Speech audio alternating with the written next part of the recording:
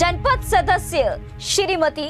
किरण मरकाम सभापति जनपद पंचायत पोड़ी उपरोड़ा जिला कोरबा की ओर से समस्त जनपद वासियों को गणतंत्र दिवस की हार्दिक शुभकामनाएं